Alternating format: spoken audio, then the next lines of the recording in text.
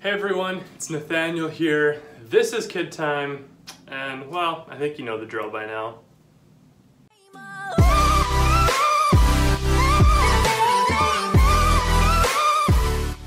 This week we have something just a little bit different for all of you.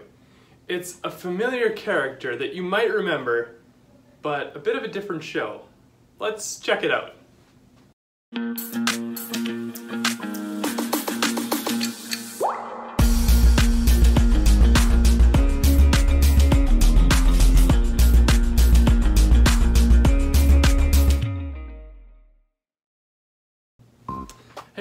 Kids, my name is Nathaniel Driesen, and you might remember me as the smart guy on WEFC News.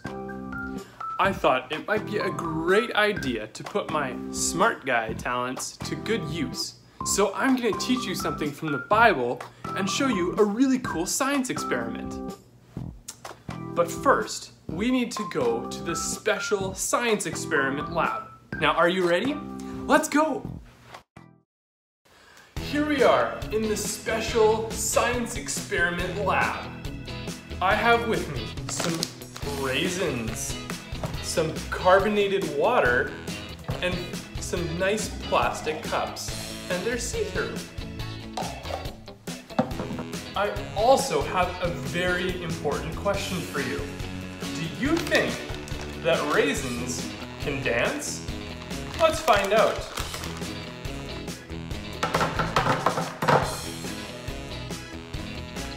The verdict is in, raisins cannot dance. How about we try something different? Watch this.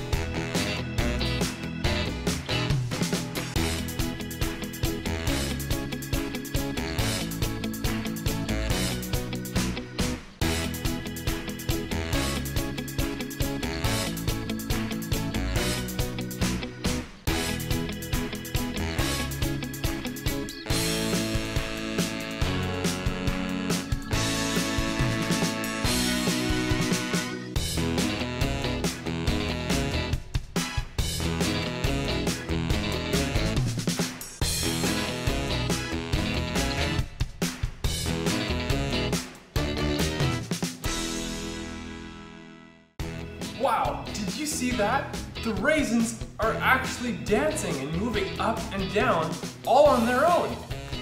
Now, let me explain how it works. You see, carbonated beverages are pressurized by something called carbon dioxide gas.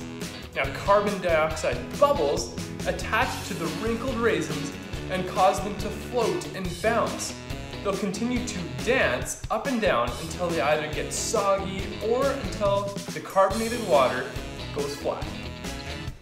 Now let's head back to the studio and we're gonna talk a little bit more about what this experiment reminds us of.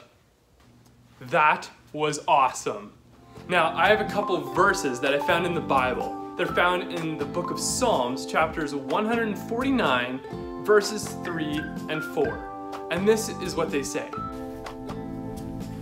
Praise his name with dancing, accompanied by tambourine and harp. For the Lord delights in his people. He crowns the humble with victory.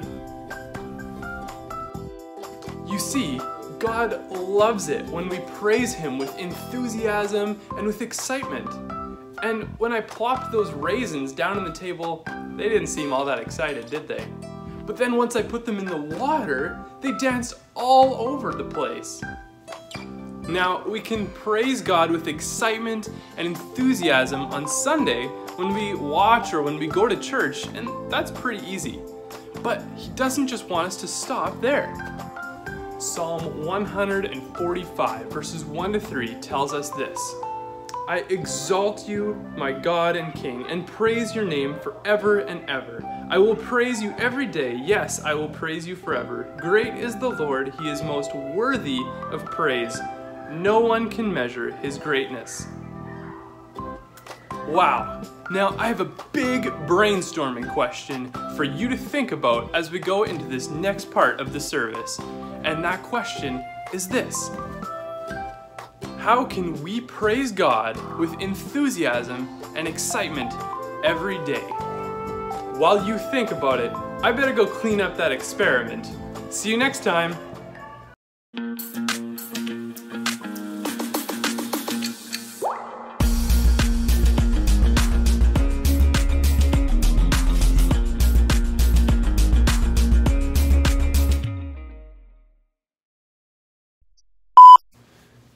Hey, you know, maybe if the show takes off, I'll be able to afford a jacket that actually fits.